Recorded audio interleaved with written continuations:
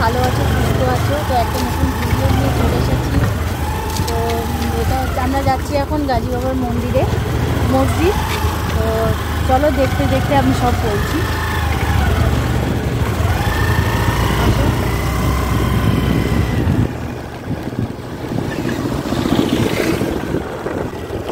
এখন মন্দিরে যাচ্ছি সবাই মিলে। সবাই মিলে আমরা যাচ্ছি। দেখবে। ভালো লাগলে কেমন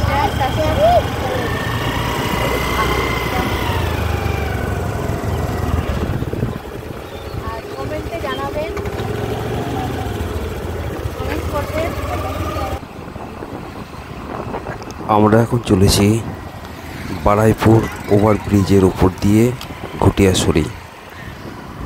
রাস্তাটি খুবই ভালো ও কোনো প্রবলেম নেই রাস্তায়। কিন্তু ঘুটিয়া শরীফে যেতে হলে আমার মতে মনে হয় যে ট্রেন যাত্রাই হচ্ছে সব থেকে কাছাকাছি এবং খুব ভালো হবে। এক ঘণ্টার মধ্যে শিয়ালদা থেকে পুরো সোজা চলে যাবে ঘুটিয়া শরীফ। ঘুটিয়া শরীফ থেকে নেমে আপনি গাজী বাবার মন্দিরে যাবেন। ওই মিনিট দুয়েক রাস্তা তারপরেই গাজী বাবার মন্দির। আর যে সকল দর্শকরা যাবেন এই মেন রোড দিয়ে, যাদের দু চাকা কি চার চাকা গাড়ি আছে? তাদের পক্ষে তো এই বারাইপুরের ফ্লাইওভারের ওপর থেকে আপনি ক্যানিং রোড ধরতে হবে, ক্যানিং রোডে যেতে হবে। তো, এখানে মূলত বাস কিংবা অন্য কোনো যানবাহনের এখানে সুবিধা আছে, কিন্তু খুব জটিলতা। এখানে মানে নানা রকমের রেট এই রোডে নেয়। কার মানে কোনো নির্দিষ্ট কোনো রোড এখানে মানে টাকা এখানে ইয়ে হয় না বার্গেনিং করতে হয় হ্যাঁ, ঠিক আছে? কিন্তু নিজস্ব গাড়ি থাকলে এখানে ভালো এই ঘুটিয়াছড়ি স্টেশন ঠিক আছে? এই ঘুটিয়াছড়ি স্টেশনে নেমে আপনার দু মিনিটের রাস্তা হচ্ছে গাজী বাবার মন্দির। তো আমার মতে এই ঘুটিয়াছড়ি স্টেশনে ট্রেন যাত্রাই সব থেকে সুবিধা ও খুব তাড়াতাড়ি হবে এবং খুব আরামদায়কও হবে, এটুকু আমি বলতে পারি।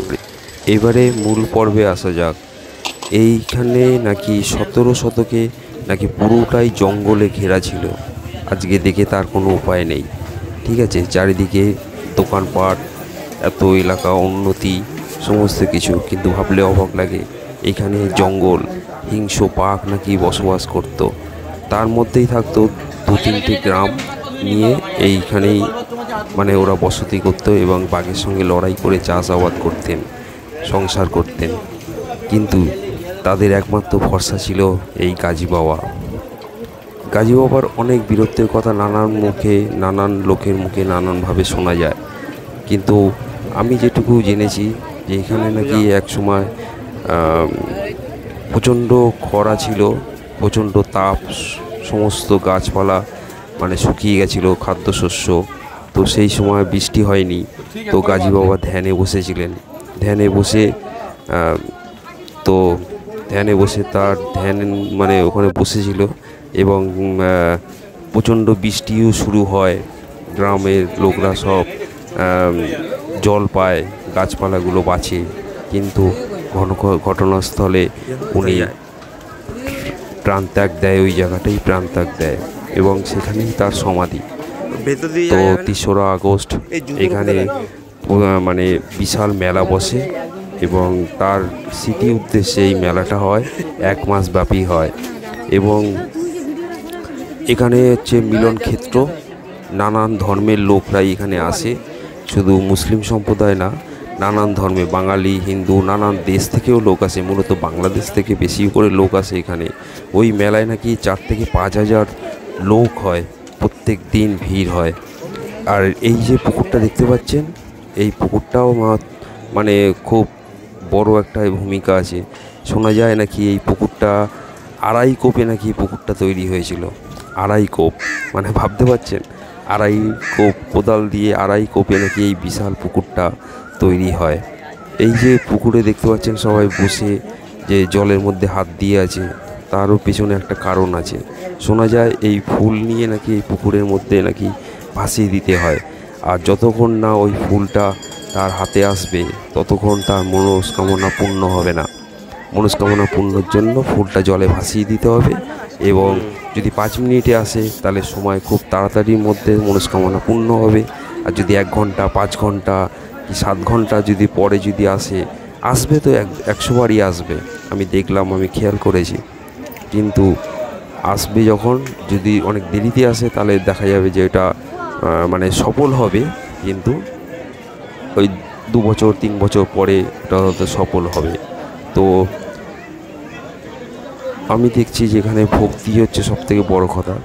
তো ভক্তির আস, ইয়া- ইয়েতে সবাই জলে হাত দিয়ে সব বসে আছে, কীভাবে তার ফুল, স্বপ্নটা সত্যি হবে। নানান লোকে নানান কষ্ট, বেদনা, সমস্ত কিছু নিয়ে এনা- এখানে যায় আশা নিয়ে। তো সফল তো হয়, না হলে এরকম কেন ভিড় হবে? তাই না?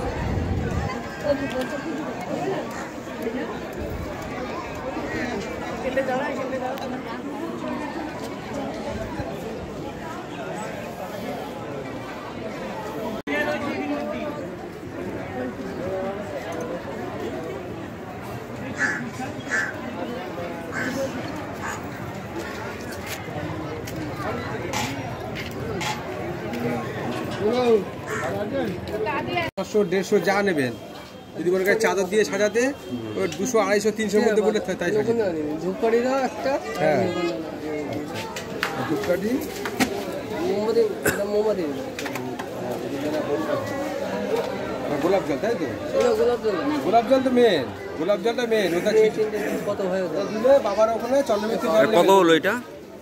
আপনার চল্লিশ টাকা হবে গোলাপ জল দিলে ষাট টাকা হতো হ্যাঁ জুতো পরে যান। গোলাপ জলটা দিলে তো আবার জল দিতে চন্দ্রমিত্র জল হ্যাঁ?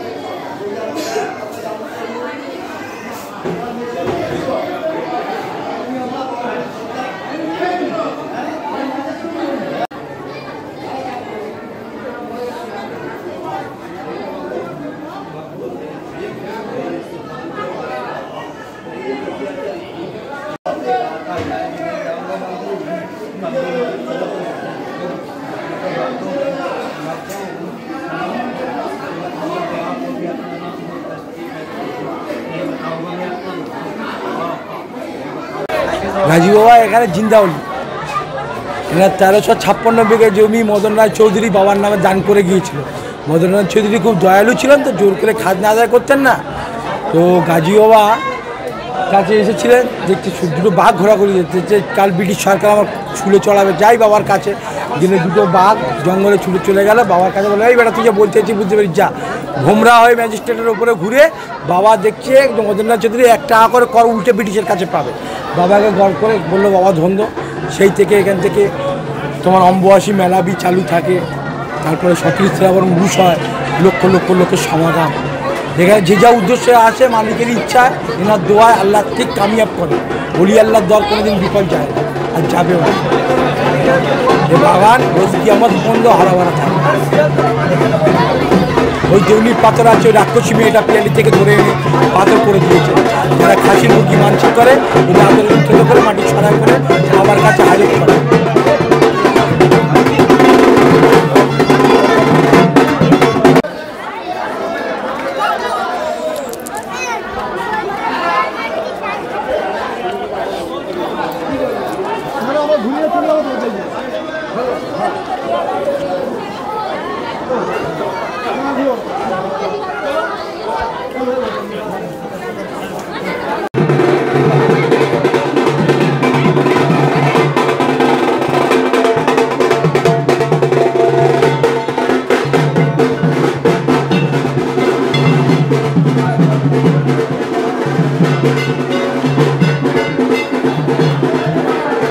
এক।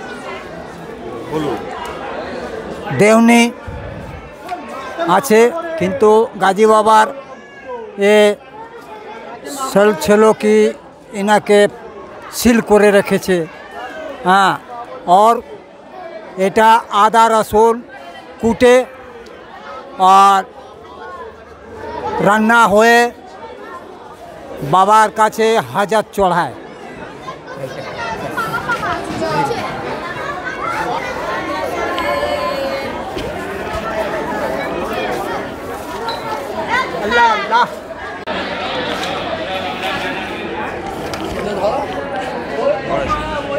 ধরো আমি লাস্টে ধরো। না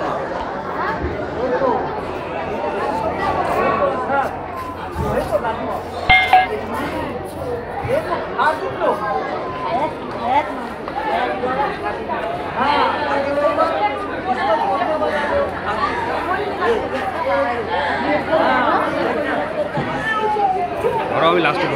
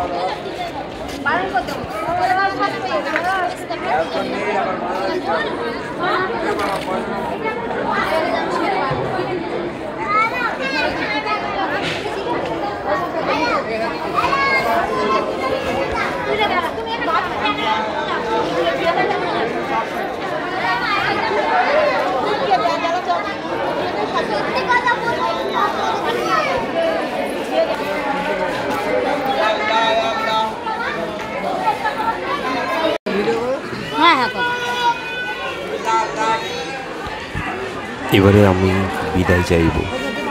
আজকের মতন রাখি। আপনারা সুস্থ থাকবেন, ভালো থাকবেন। আবার দেখা হবে অন্য কোনো পর্বে। ঠিক আছে? আপনারা ভালো থাকুন।